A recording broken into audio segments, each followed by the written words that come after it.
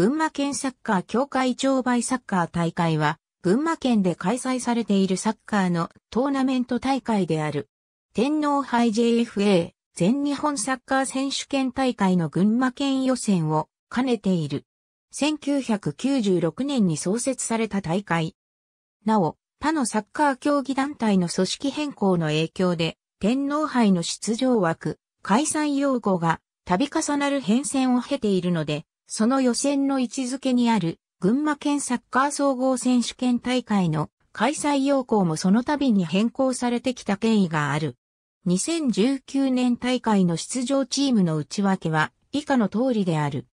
J3 リーグ所属チーム関東サッカーリーグ所属チーム北関東大学サッカー連盟推薦群馬県社会人サッカーリーグ一部優勝チーム群馬県サッカー総合選手権大会優勝1950年に創設された大会である。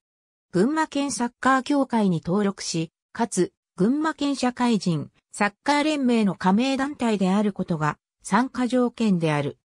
ABCDEFGHIJKL 平成31年度群馬県サッカー協会町売サッカー大会大会要項群馬県サッカー協会2019年5月12日閲覧ありがとうございます。